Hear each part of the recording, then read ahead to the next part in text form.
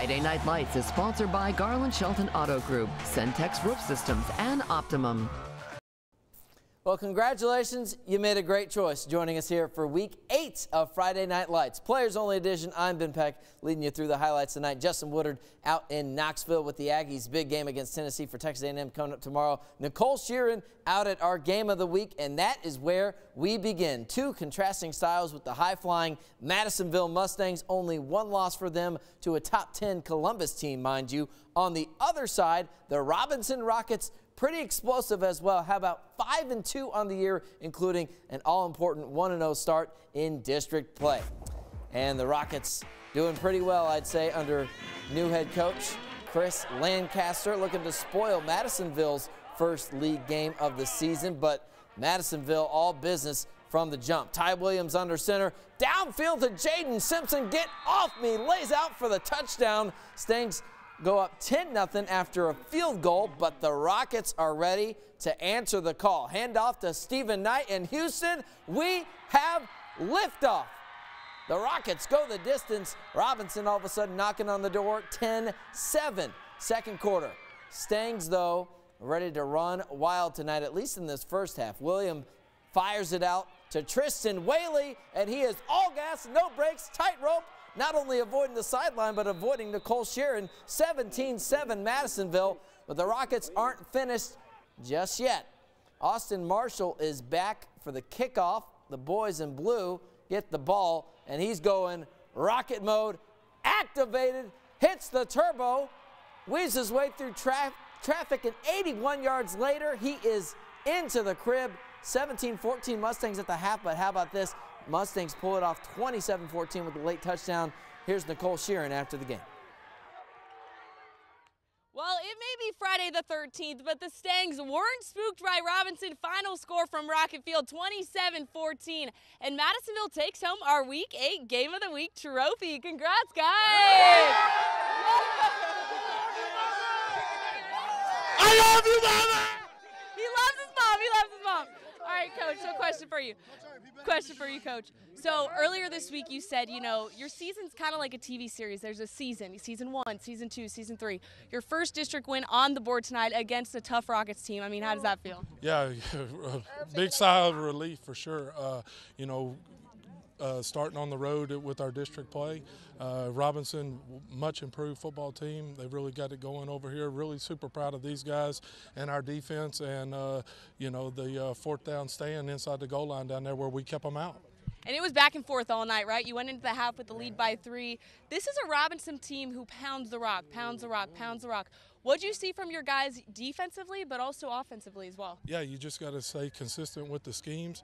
Um, they're going to limit your possession. So offensively, when we get the ball, we knew we had to take charge and, and put points on the board because they and, were going to limit us. and there was one guy who kept moving the chains all night. Where is he? Where is he? There you are. All right. So how did it feel for you out there? You kept pounding that rock. Robinson, an elite defense, but it didn't seem to bother you. Um, the motivation of my teammates and how hard and how hard we go in practice. And, and what's the, what's the next step after after tonight? District championship. Get ready for Gatesville. Gatesville. Gatesville. All right, one at a time, right? One to zero every week. Well, Madisonville hits the road back to where they came from with a big win on the board, but I'll send it back to you guys.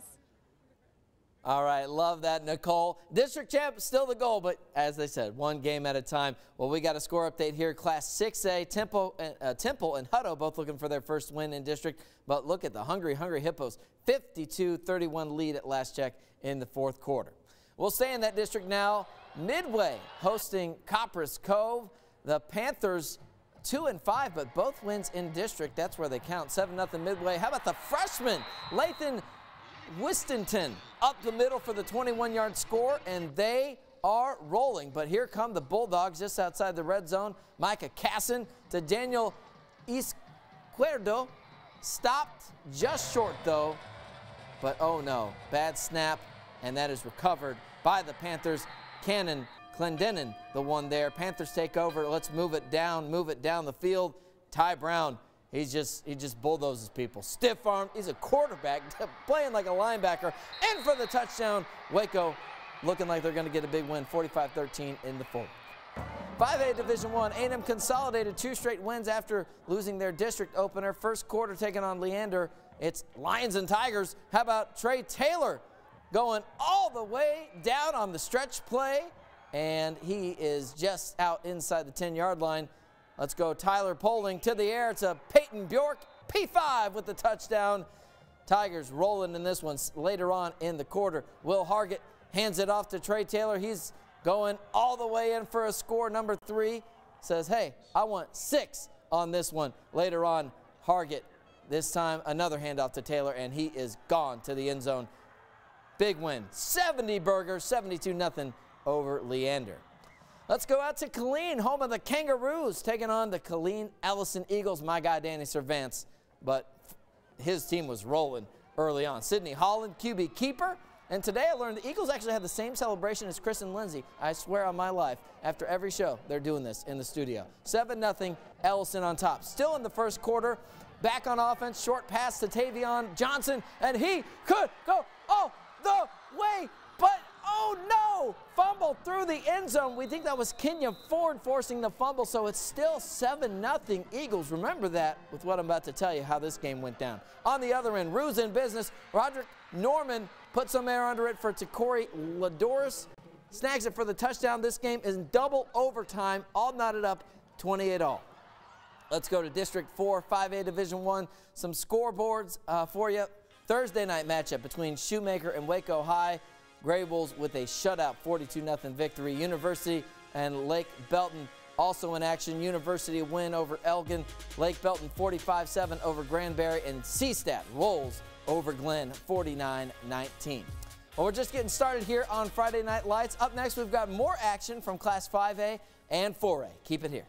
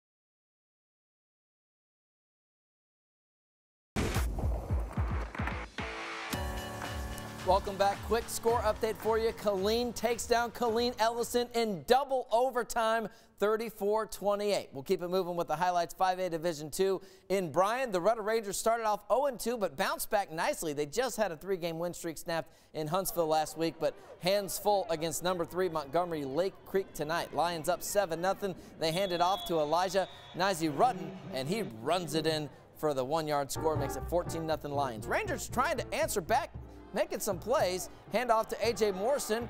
Makes a couple guys miss, and he is down into the red zone out at the 13-yard line. However, the Lions defense holds strong, but got to show you some Rangers points. Santiago Lugo puts Rudder on the board 14-3, but uh, they just go back to Nazi Rudden pounding it into the end zone. Lions up 21-3, and they get the win 38-3 over Rudder. Class 4A, China Spring, good at football, but you might not know, also very good at baseball. Celebrating the state champs from last year, ring ceremony before the game, and quarterback Cash McCullum not wasting any time with the firepower here. Touchdown pass to Grayson Martin. Flicker the lights, 7 0 CStat. Later on, tied at 7 in the first quarter. McCullum, another bomb to Martin. And it's just looking, he says it's looking too easy, but not so fast. The Pirates have their moments in this game, moving the ball. Bryson Rowland runs it in for La Vega but just keep letting it fly if you're China Spring. McCullum, another one, a deep bomb to Kyle Barton. And at last check, it looks like China Spring leading 52-49 though in the fourth. We'll keep an eye on that one for you.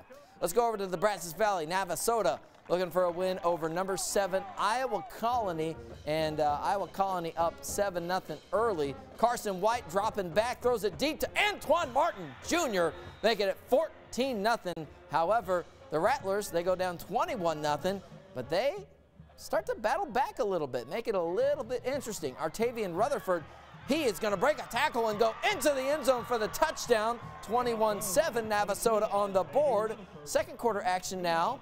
Same score. Hudson Miner, the quarterback, going to keep this one. Finds his way into the end zone. Good fight from Navasota, but ultimately they come up short to the Pioneers 37 21 and Lampasas. The Badgers get a 43-24 win over Taylor.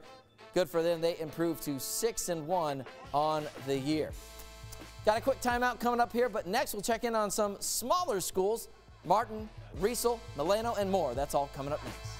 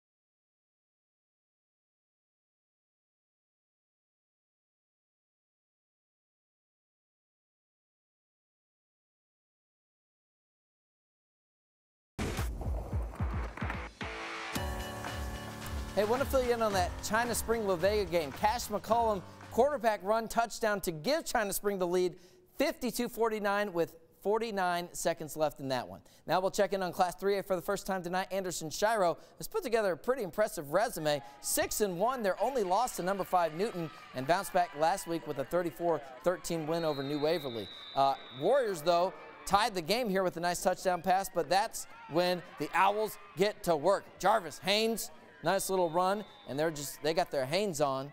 ASO does, the Anderson Shiro Eagles. So they are going to hand it back over to Haynes, and he's going to go in for another touchdown. Jump ahead to the second quarter. Anderson Shiro going to work once again and pounding their way in for another touchdown. Let's check the look at the score in this one. I believe they get the win. Anderson Shiro does. Yes, 47 over Warren. All right, let's go to Riesel, where Marlin comes in trying to take down the undefeated Indians, 6 0. But how about this? Starting off with an onside kick, Eric Ramos recovered by Marlin. So the Bulldogs going to work. Roderick Suitors throws to Mario Hopwood, weaving his way through traffic. That's a nice little gain. Then later on, Suitors gonna play action to Demarion Butler in the corner. Touchdown, First touchdown of the game. Marlin, next possession. They're going back to the pass game. Suitors, little drop down to Jameer Hartsfield. He's got a big gain. This one was 14-12 at the half, Marlin, and Marlin does hold on for the win, 28-12. Sneaky good matchup here. Milano and Iola, both teams 4 and 2, but Iola only two wins last year. First year head coach Rex Sharp, but this is a well-oiled machine. The Bulldogs, Adrian Garrett, get off of me. All the way to the end zone, 7-0 Iola. We go later on in the first quarter. Dropping back to pass now. Tyler Elliott. And he's looking deep on the rollout. Looking, looking, looking, looking. Blake Bennett is there for the score. Another touchdown for Iola. And the Bulldogs continue to just bulldoze their way into the end zone. Another touchdown. This time, Cullen Walton. How about Iola? Big win over Milano. Again, only two wins last year. They improved to 5 and 2 with a 47 victory over Milano. Well, that is all the time we have for you on Friday Night Lights. Be sure to join us next week under the lights for week nine, can you believe it, of high school football. We only have three weeks left of the regular season, and then we start up by district play. And of course, uh, with your college matchups, Baylor off tomorrow, but Texas A&M at Tennessee. Be sure to keep an eye on our website for updates throughout the weekend. That's going to do it for Friday Night Lights. Hope you have a great night.